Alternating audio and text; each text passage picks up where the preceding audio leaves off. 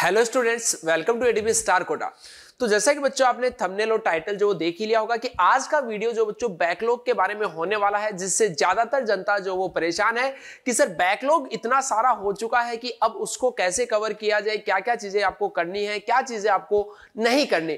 तो इस छोटे से वीडियो को एंड तक ज़रूर देखना।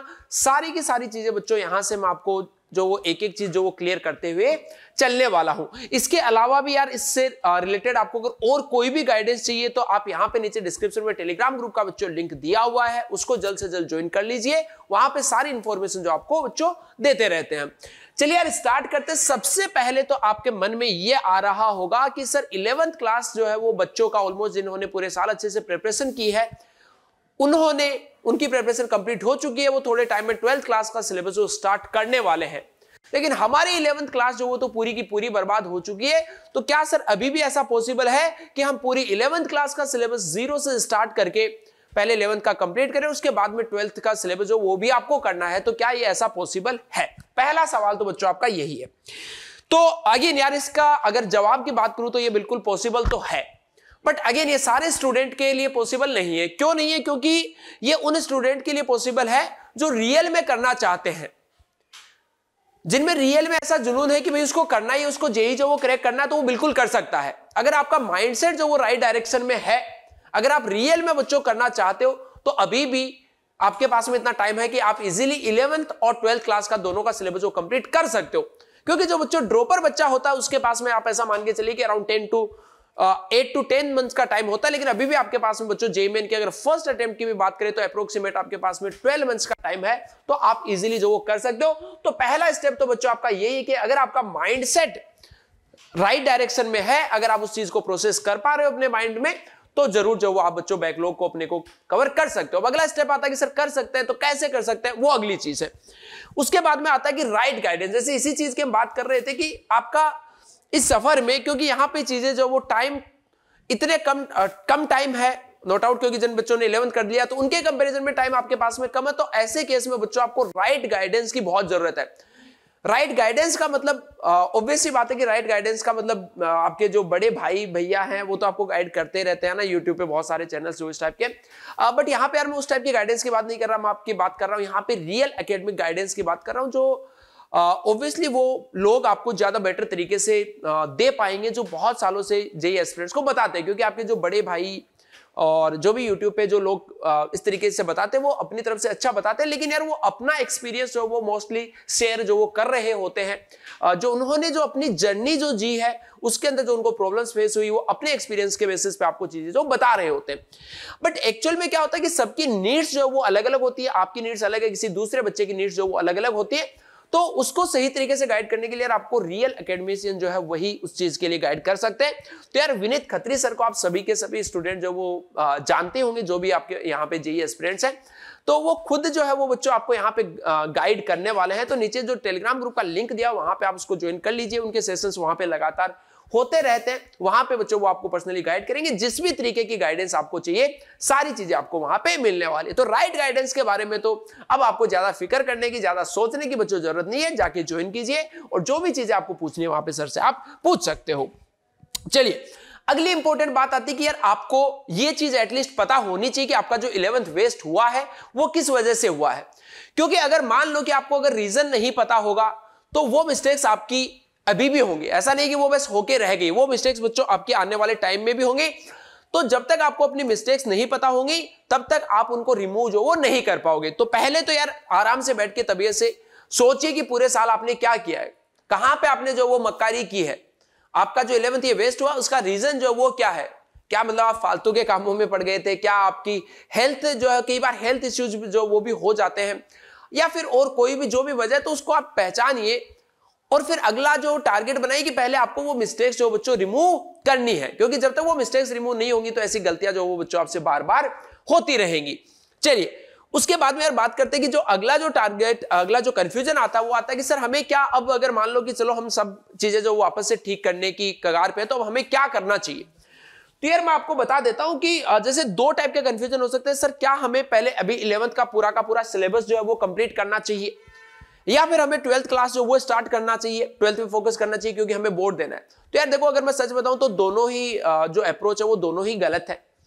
क्योंकि ट्वेल्थ क्लास के सिलेबस के जो चैप्टर्स है, उनके लिए बच्चों, आपको इलेवंथ क्लास के जो चैप्टर्स है, जो मस्ट टू चैप्टर्स होते हैं, वो आपको आना बहुत ज़रूरी है। अगर वो चैप्टर्स के बेसिक अगर आपको नहीं आते तो बच्चों मान के चलिए कि ट्वेल्थ क्लास का सिलेबस जो उसको आप ज़्यादा अच्छे तरीके से नहीं कर पाओगे। क्लियर है ये वाली चीज़? तो आपको इलेवन के मस्ट टू चैप्टर्स करने अभी इलेवन क्लास के मस्ट टू चैप्टर्स चाहे वो फिजिक्स के हो केमिस्ट्री के हो मैथ्स के हो, ये आपको सारे करने अब ये कहाँ से कौन कौन से मस्ट टू चैप्टर्स हैं? जैसे मैथ्स की बात करूँ तो यार बेसिक मैथ्स है। बेसिक मैथ्स में भी अलग अलग टाइप की चीज़ें होती है, जैसे इनइक्वलिटीज है ग्रेटेस्ट इंटीजर फ़ंक्शन है लोगरिथमिक फ़ंक्शन है फ्रैक्शनल पार्ट फ़ंक्शन है, ये सारी चीज़ें। इसके अलावा quadratic equation trigonometry similar way physics और केमिस्ट्री के भी ये चैप्टर और ये भी यहीं पे बच्चों आपको टेलीग्राम ग्रुप पे मिल जाएँगे। इसीलिए बोल रहा हूँ कि जल्दी से जल्दी जाके ज्वाइन कर लो। सारी चीज़ें आपको एक ही जगह पे पूरे व्यवस्थित ढंग से मिल जाएँगे। तो यार आपको देखो, पहले क्या करना है इलेवंथ क्लास के जो मस्ट डू चैप्टर्स है, वो करने हैं। तो आई होप ये वाला कंफ्यूजन तो खत्म हो गया। आगे भी बात करेंगे जो बचे हुए उनका क्या करना है। अब अगली बात आती है कि सर, ठीक है मस्ट टू चैप्टर्स करने अब उनको करने कैसे हैं? तो क्या है यूट्यूब पे वन शॉट वीडियो जो वो अवेलेबल है तो उनकी हेल्प से करें या फिर लॉन्ग वीडियोस देखें? तो यार, यहाँ पे देखो, मैं आपको रिकमेंड करूँगा कि वन शॉट जो वो सिर्फ़ और सिर्फ़ रिविजन के लिए होते तो यार, वहाँ से आप अपनी प्रिपरेशन जो अच्छे से नहीं कर पाओगे। उसके बाद भी वो आपके बेसिक्स जो है वो वीक ही रहेंगे। तो आपको कंप्लीट जो अच्छे लेक्चर्स है वो देखने चाहिए। यहीं पे यार मैं आपको इससे रिलेटेड चीज़ भी बता देता हूँ। ग्लेडिएटर बैच एटीवी स्टार का जो इलेवन से ट्वेल्थ मूविंग स्टूडेंट है, उनके लिए बच्चों ये जल्द ही स्टार्ट हो रहा है। डिस्क्रिप्शन में इसकी पूरी की पूरी डिटेल्स जो वो भी दी हुई है, वो आप चेकआउट कर सकते हो। एक्चुअली ये बैच इसी पर्पज से बनाया गया है कि जिन बच्चों का इलेवन जो वो वेस्ट हो चुका है, वो भी हिम्मत ना हारे, वो भी उसी के बराबर मेहनत करके, थोड़ी सी ज़्यादा मेहनत करके चीज़ें जो वो कवर अप कर सके। तो इसमें जो बच्चों मस्ट डू चैप्टर्स है उनका पहले यहाँ पे बहुत अच्छे ढंग से आपको पूरा का पूरा रिवाइज जो वो करवाया जाएगा। उसके बाद में आपके ट्वेल्थ क्लास के जो चैप्टर्स हैं वो स्टार्ट किए जाएँगे। तो इस बैच को यार आ, काफ़ी स्टूडेंट ऑलरेडी ज्वाइन कर भी चुके हैं। अभी स्पेशल फ़ी बेनिफिट भी आपको मिल सकता है तो जल्द से जल्द यार आप इसको ज्वाइन कर सकते हो। एटीवी स्टार की ऐप पे भी जाके या फिर वेबसाइट से जाके।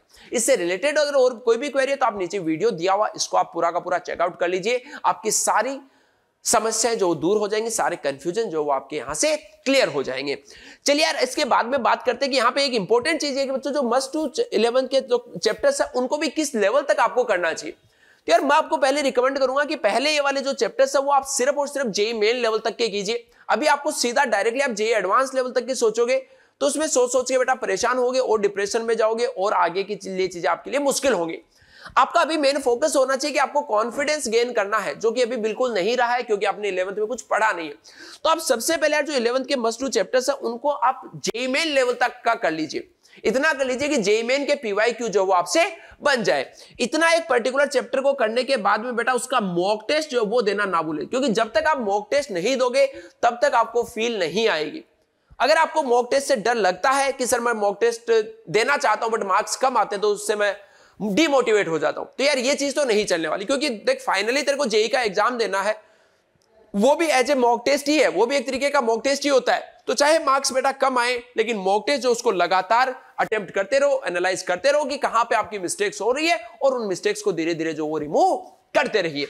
अगला जो इंपॉर्टेंट पार्ट आता है कि अच्छा ठीक है सर इलेवंथ के मस्ट डू चैप्टर्स कर लिए।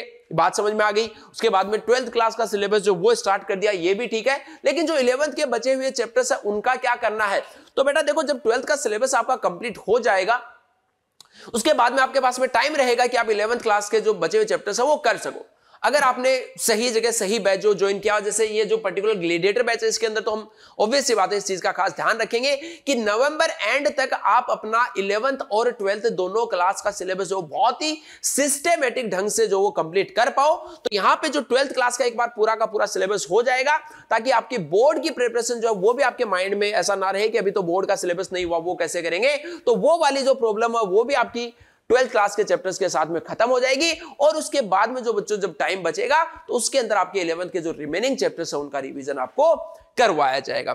तो यार, बस यही सारी चीज़ें हैं। अगर आप इन सारी चीज़ों को अच्छे से फॉलो करते हो तो बिल्कुल बच्चों, आप अपना बैकलॉग जो है, वो बहुत अच्छे ढंग से कवर कर सकते हो। इसमें कोई जो वो डाउट नहीं है। बट इसके अलावा भी अगर कोई भी, कोई आपकी क्वेरी है तो वो आप टेलीग्राम ग्रुप पे पूछ सकते हो या फिर नीचे कमेंट सेक्शन में भी बच्चों पूछ सकते हो। Okay students best of luck